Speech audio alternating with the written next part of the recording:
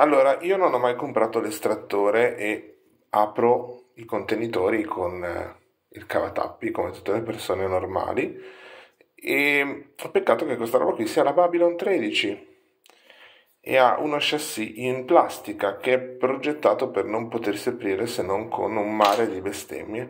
Questi sono tutti i truccioli che ho fatto cercando di aprirlo ovviamente al buio, solo che quando inizi a provare ad aprirlo e non si apre, eh, come fai a sapere se entrerà la luce o no? Quindi non puoi accendere più la luce.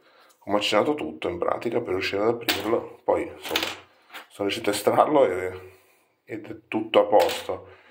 Però veramente una schifezza sto, sto coso qui fatto in due parti che sono, sono legate in un modo assurdo. Dovresti premere queste due piccole clippettine qua che il telefono non metta a fuoco, ecco. E, ma come fai a premerle? Se lo fai alla luce, poi entra la luce nel, nel nel caricatore. Eh, se lo fai al buio non li troverai mai, poi sono due da premere per ogni lato, come fai a toglierli? È impossibile.